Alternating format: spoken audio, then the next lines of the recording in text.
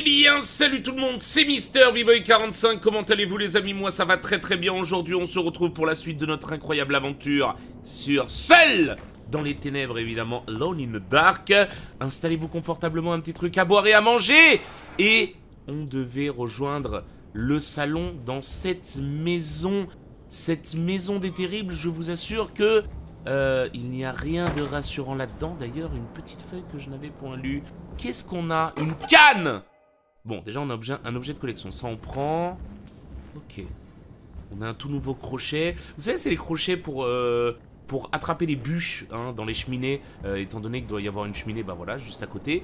Euh... What? Hmm. Quoi? Attends, mais la dernière fois... Fois, elle était pas morte Waouh. Tout ceci n'est clairement pas rassurant. Je commence déjà à avoir la gueule batteuse et en vrac. J'ai envie d'aller dans la cuisine. Vous vous souvenez? Madame Thompson, je comprends que la semaine dernière a été chargée. Dans ces circonstances, je pense qu'il est important de vous rappeler que les préoccupations de Derceto ne sont pas une affaire publique et qu'elles ne doivent pas vous bouleverser. Veuillez poursuivre votre excellent travail et ne vous attardez pas sur le décès de Perosi ou, plus important encore, sur le suicide de Cassandra Bourgard. Ces événements ne doivent rien signifier pour vous ou pour le personnel. Je compte sur votre loyauté et je suis persuadé que vos liens étroits avec la fratrie Taboui permettront de préserver les secrets de Derceto. Docteur Gray. le docteur, euh, le docteur qui exige que les morts euh, ne les perturbent pas.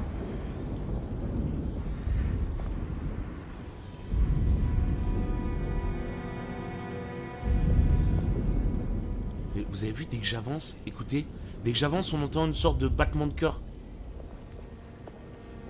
Pas du tout, c'était purement dû à ça. Non?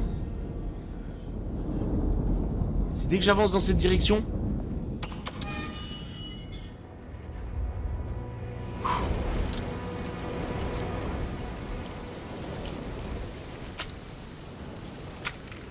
Ok. Ça en est où, chacal à la suite de cette... Euh... J'aille dans le bureau du Dr. Gray.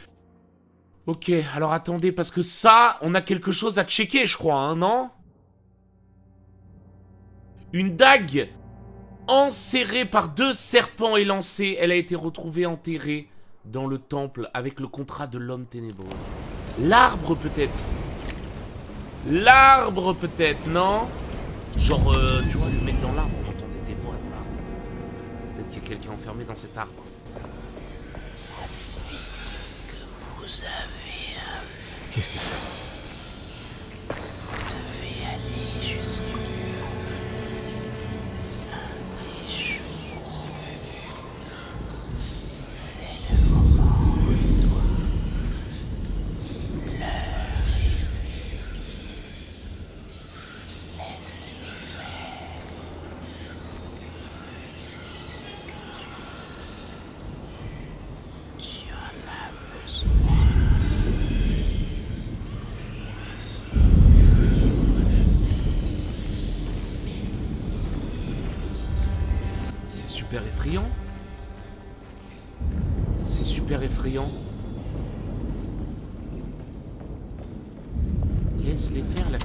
Amenée, laisse-les faire, t'en as besoin pour exister. C'est quoi ces conneries? Non mais ça m'a mis un coup de... Un coup de... d'effrayance. Euh... Bureau du docteur Gray. Euh...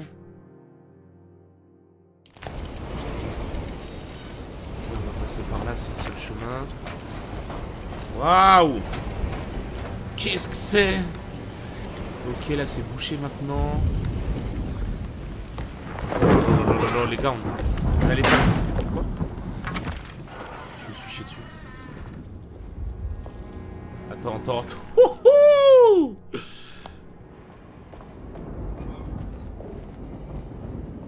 Ok.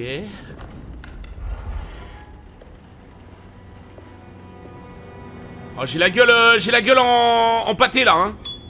Y'a quelqu'un? Y'a quelqu'un? Y'a quelqu'un? Toujours trois fois. Il doit y avoir un double des clés du cabinet du docteur Gray ici, quelque part. Oui. J'ai besoin de la clé. Et on sait où c'est, on sait où c'est. J'ai pas la combinaison de ce coffre-fort. Mais Jérémy la connaît peut-être.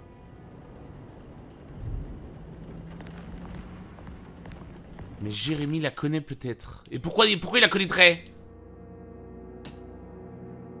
Parce que Jérémy il est en enfer là, non?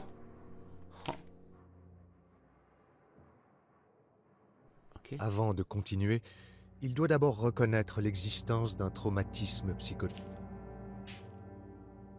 9-1-3. À essayer. La malédiction. Préparatif de Saint-Jean. Mademoiselle Thompson.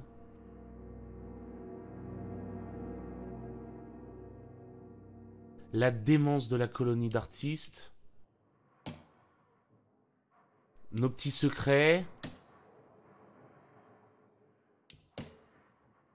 Jérémy la connaît peut-être. Ça, c'est le carnet de notes de Jérémy, hein. Il la connaît, peut-être. Attendez. Hmm, Laissez-moi checker tout cela. Ok, ok, d'accord, c'est un classique. Bien sûr. J'en ai aucune idée. Ça, on l'a fait, c'était le cimetière. Euh... J'en ai aucune idée. J'en ai aucune idée. Euh, où est la chambre de Jérémy? Putain, j'ai trouvé comment... Where is the chamber of the, of the Jeremy J'essaye de trouver sa chambre. Il y a la chambre de Mac, jamais, jamais rentré dedans MDR. Dans la buanderie, c'est incroyable. Il y a l'appartement du docteur Gray. On a la chambre, chambre de Jérémy. Il y a un truc dedans. Faut que je retourne dans la mezzanine. C'était Ribbles. C'était quoi? 1, 9, 6 1, 9, 6. Ce n'est pas ça. Ce n'est pas ça. Entrée par infraction dans le bureau. Les deux aides-soignants n'avaient toujours pas retrouvé Jérémy. Carnby se dit que c'était une bonne nouvelle et Minnie lui avait rappelé qu'il y avait eu des décès étranges.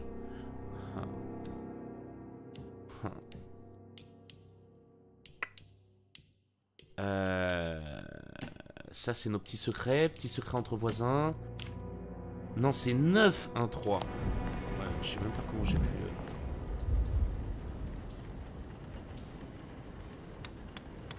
euh. Neuf. Non. Non, je suis vraiment teubé. 9. 1. Ça a marché. Je suis trop chaud. Oh là là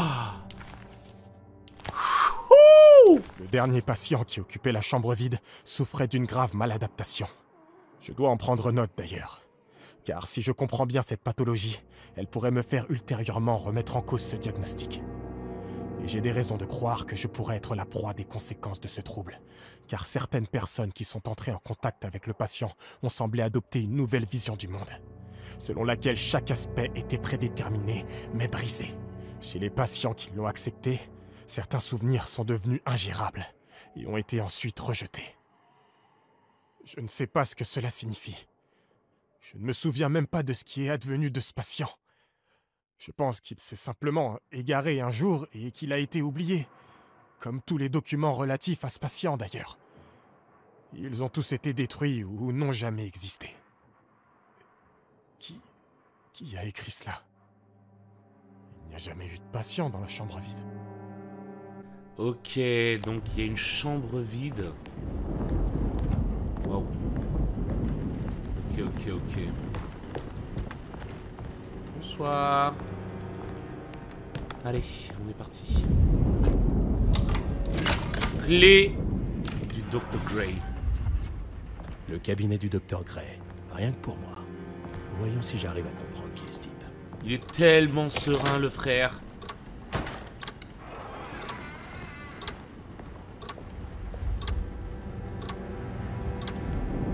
Beaucoup trop serein à mon goût. Ok. J'ai fini de ranger les affaires de mademoiselle Beauregard. Je vous laisse le soin de contacter son agent afin qu'il vienne récupérer ses biens. J'ai trouvé dans sa chambre un des dessins de Grace qu'elle pourrait vouloir récupérer, ainsi que cette clé. C'est celle que vous cherchiez, je crois. Madame Thompson. Ok, Madame Beauregard avait une clé.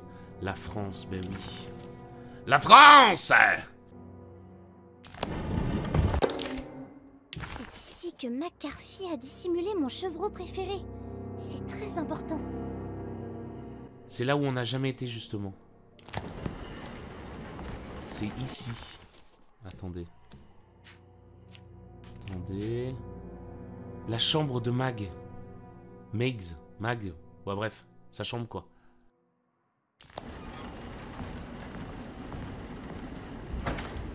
Oh, la taille de la clé De la cage d'escalier. Oh. Oh, l'angoisse.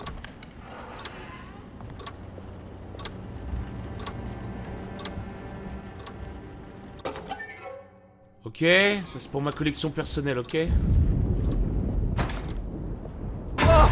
Oh, waouh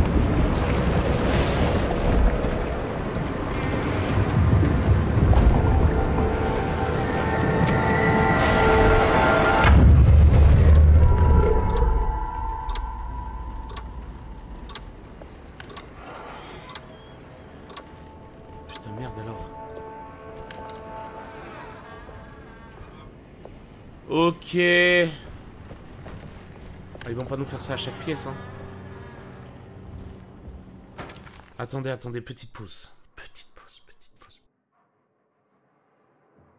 Euh, la clé, la cage d'escalier, on l'a. Là, c'est Bouchero. Si je monte, c'est les galeries. Ok, mezzanine. Et là, c'est tout en bas. Quel est le moyen d'aller tout en bas? Il en a pas. Attendez, si, normalement, il y en a un. Non,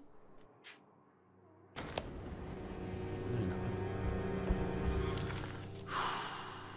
Ça commence à être... euh, ça commence à être stressant, tout ça.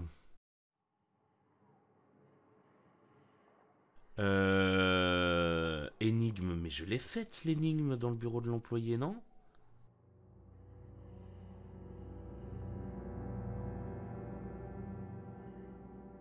Attends, on m'invite à réexplorer.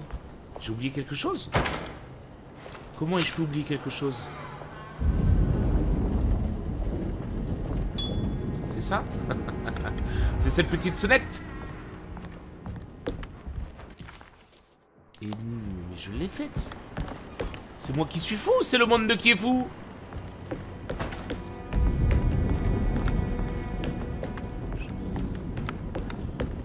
Pour moi, c'est fait, hein. Les tableaux là. Ah. Ah. Manzetti. Je me trouve pris dans une bataille perdue d'avance avec mon patient. Comme je vous l'ai indiqué dans mon précédent courrier, il est complètement prisonnier de sa psychose. Il m'est déjà assez pénible de le voir se torturer lui-même avec sa paranoïa, mais sa folie s'avère être très convaincante pour les autres patients, préparant ainsi le terrain pour une psychose de masse. Je vous écris dans l'espoir que vous puissiez me conseiller. Au-delà de mon ambition d'éviter à mon patient une chirurgie dévastatrice, je commence à m'inquiéter de mes propres défenses. Les paroles de mon patient sont dérangées, mais elles m'atteignent souvent, éveillant en moi quelque instinct primitif. J'ai essayé de réaliser des radiographies de son cerveau. Il a été étonnamment difficile d'obtenir de bons résultats. Des taches sombres sur les clichés masquent tous les détails. Mon patient a regardé les plaques photographiques défaillantes et a poussé un cri de terreur. Il m'a dit que les zones sombres étaient l'ombre du verre qui le dévore de l'intérieur. Je n'ai rien vu qui sorte de l'ordinaire. J'espère que c'est un signe que mon esprit n'est pas aussi réceptif à la folie que je le craignais. Au terme d'entretiens plus approfondis, mon patient a assimilé les ombres à l'intérieur de son esprit à une sorte de monstruosité chtonienne qui profane son sanctuaire. Il s'agit clairement d'une référence à un endroit qu'il appelle Taroeya, une sorte de bibliothèque ou de couvent qui constitue pour lui un refuge psychologique. Ce refuge imaginaire étant menacé par cet être chtonien, il a maintenant construit une autre cachette, moins agréable. Dernièrement, il a évoqué la métaphore d'un bateau à vapeur qui se serait échoué. Il sent qu'il doit démarrer les moteurs et faire marche arrière, mais il craint que le trou dans la coque ne fasse sombrer tout le bateau. Cela fait maintenant une semaine qu'il transforme cette métaphore en réalité. Il sait qu'il s'agit d'une invention, mais il redouble d'efforts pour en faire un vrai souvenir. Je suis persuadé que c'est l'occasion pour moi de franchir les barrières de son auto-illusion. Ok. Eh ben écoutez, c'est plutôt, euh, c'est plutôt pas trop mal tout ça. Chercher, euh, j'ai pas vu l'objectif. Euh, Laissez-moi le, temps de dire. Le trésor dans le dessin de Grace. Chercher les plaques radiographiques de Jérémy à l'infirmerie. Ah. Ok. Par conséquent, il reste un truc dans le bureau de l'employé. L'infirmerie. Où est l'infirmerie? Il y a la chambre vide. Ok. Il y a l'appartement du Dr. Gray. Oh, waouh Infirmerie, laboratoire, quarantaine, mes couilles. Oh, cage d'escalier. Allez. Maintenant, ça va chier. Ok. Waouh. On retourne là-bas.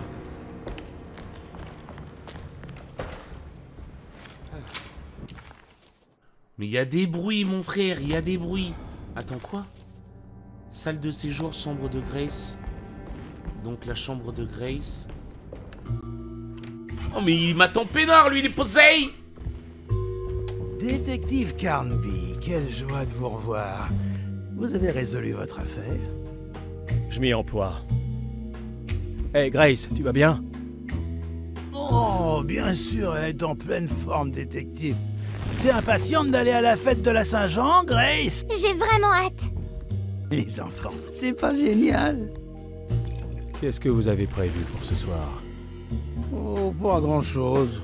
On mange, on boit, on rend hommage à l'arbre à souhait du jardin d'hiver. La routine. Alors pourquoi toute cette impatience? Il y a quelque chose de particulier ce soir. De différent. Nous le sentons tous. En plus, nous avons trouvé de nouvelles paroles pour la prière grâce à votre Jérémie. Elle viendra et retournera le monde à l'envers. Alors tout recommencera. Ça me paraît étrangement menaçant. Vous devriez venir Oh, oh bon sang, Grace Tiens-toi tranquille, pour une fois uh -huh. Elle viendra et retournera le monde à l'envers. Un nouveau protagoniste, un nouvel antagoniste. La clé du hall du premier étage. Oh, merde alors. Il ferait mieux de les garder. Il faudrait pas que quelqu'un les perde. Il manque quelque chose. Voilà. Qu'est-ce qu'on a là Une carte, c'est la collection. Merde alors.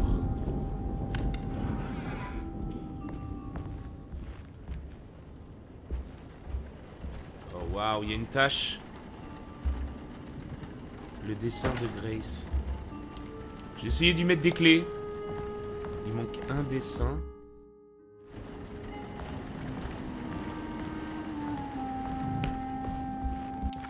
Ah Il y a une énigme. Il y a une énigme et j'ai pas le dernier dessin. Je pense qu'il va falloir après recaler euh, les dessins dans l'ordre ainsi que la moisissure. hein. Qu'est-ce qu'on a là? Là aussi, là aussi, il nous manque quelque chose à récupérer. Un indice. savait que la seule personne qui pouvait l'aider désormais était le patient de la chambre numéro 3. La chambre semblait être restée très longtemps vide, mais cela ne pouvait être vrai. L'histoire devait forcément être différente. Elle devait forcément inclure une présence venue d'ailleurs. Il ramènerait le patient dans la chambre 3 et lui montrerait ce qui se trouvait dans le coffre-fort 913. Mais ces chiffres n'étaient pas les bons. C'était la combinaison du coffre-fort du service administratif. Ah, On l'a déjà fait, ça. Qu'est-ce qu'on a là? Ok. Des trucs partout, c'est terrible. Qu'est-ce que j'ai noté dans mon McCarthy était un bon à rien. Qu'est-ce que j'ai pu noter dans les C'est bon, on n'a plus rien à faire ici. 913. Allez, une pièce de... De dérosé, comme on dit. Il reste quelque chose à faire ici. hein. Et là, on n'a rien. Euh, on a quelque chose à faire ici. hein. Ok. Bon, allez, on est parti. Oh là là.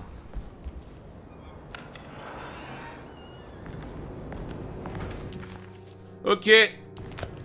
Dans la chambre de Jérémy, on a quelque chose.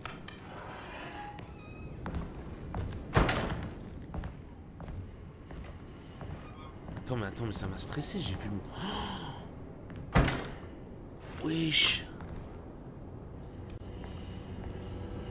C'est bizarre ça là, non? C'est un miroir grossissant? Ok. Je suis terriblement désolé que ma nièce vous ait entraîné dans ce pétrin. S'il vous plaît, avec toute ma bénédiction, emmenez-la loin de cet endroit maudit. J'ai détruit ce dévoreur de monde. Je l'ai enfermé dans le grenier et je me suis retiré dans une cachette. Dites à Émilie que je suis en sécurité. Racontez-lui tous les mensonges que vous pouvez imaginer pour qu'elle vous écoute. Ramenez-la à la Nouvelle-Orléans. Oh, bah merde alors. Ça sent pas bon tout ça. Une tête de mort. Euh, ok. Cette pièce c'est fait. Tout était si long. Euh, il y a l'autre chambre là.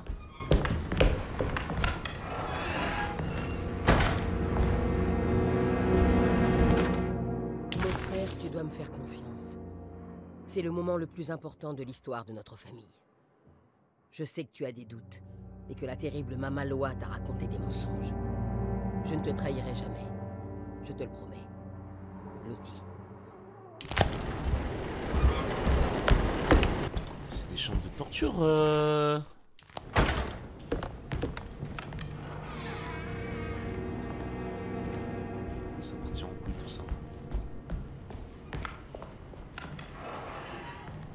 à partir en couille tout ça, hein, mon petit père. hein. Je te le dis, hein. Y a rien à récupérer ici. Non. Et là. Attends quoi? Ok, ok. Ok, ok, ok. Bon, on trace. Euh, L'ambiance de cet épisode est exceptionnellement angoissant. Mais genre réel, hein. Ok, la mezzanine, on y est. Tiens, tiens, tiens, qui volage C'est la mère Michel qui a perdu son sage. Allez. Je me suis chié dessus. C'est pas... Ok, la cage d'escalier, j'ai des clés. Mais c'est pourquoi? Peut-être pour fermer ma gueule Non. Non. J'ai envie de sur cette corde.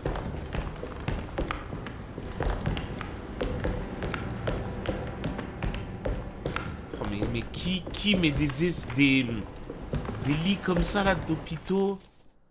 C'est terrible. Oh waouh On va pouvoir descendre tout en bas de l'escalier.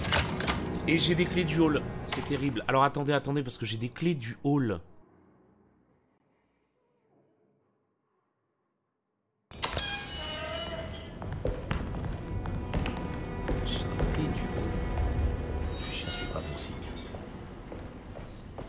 Pourquoi c'est pas bon signe Je comprends pas. Oh, waouh Non, ça c'est pas bon signe, hein Il y a un truc qui respire comme Dark Vador, là, hein Oh C'est des trucs de sacrifice. J'ai besoin de la clé.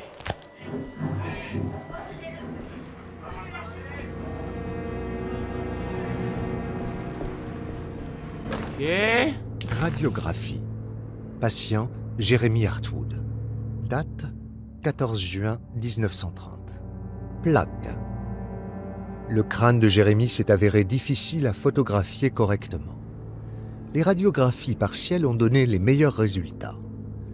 Une image complète du cerveau peut être obtenue en assemblant trois plaques. Observation. Même lorsque l'on regarde les radiographies assemblées, une ombre recouvre des parties importantes du cerveau de Jérémy. Il est possible qu'il s'agisse d'une tumeur, mais il est probable que l'équipement soit défaillant. Jérémy a réagi fortement aux images, affirmant y voir un verre d'argile géant qui dévore et déplace ses souvenirs. Note.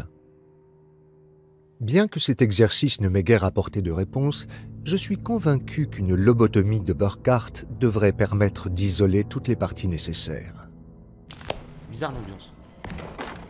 Une hypothétique psychochirurgie, inspirée des idées de Burkhardt et des recherches de Saint-Pétersbourg, pourrait finir par sauver l'esprit de Jérémie. Couper les connexions autour du lobe frontal résoudrait certainement la plupart de ses afflictions mentales. La procédure serait brutale en termes d'exécution et d'efficacité. Un pic à glace, introduit par le côté de l'œil et enfoncé dans le crâne, trancherait les nerfs, tel Alexandre tranchant le nœud gordien. Dans la mesure où cette procédure laisserait probablement Jérémie dans un état très altéré, toutes les autres voies devraient être explorées au préalable. L'instrument médical dont j'aurais besoin pour pratiquer cette lobotomie a disparu, et je devrais demander à Waits d'en commander un nouveau. Ouais, le fameux pic à glace, la lobotomie, hein. Ça me rappelle...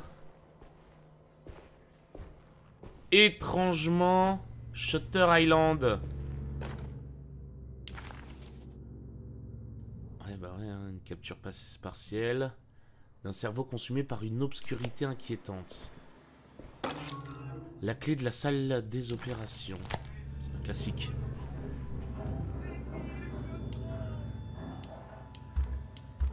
Voilà. Un fusible électrique, c'est évident. On va se chier dessus. Hein.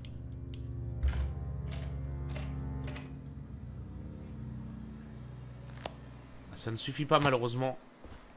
Il en manque un. Merde alors. Ah, va falloir réunir les quatre parties du cerveau là, non?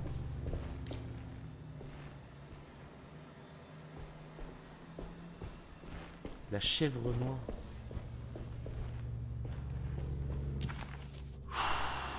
C'est quoi cette ambiance de, déglingo là Ok.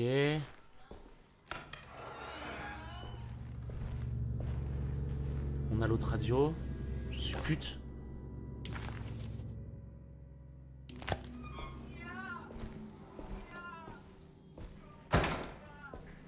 Sacrifice de chef, c'est un jeu pour Fufu ça.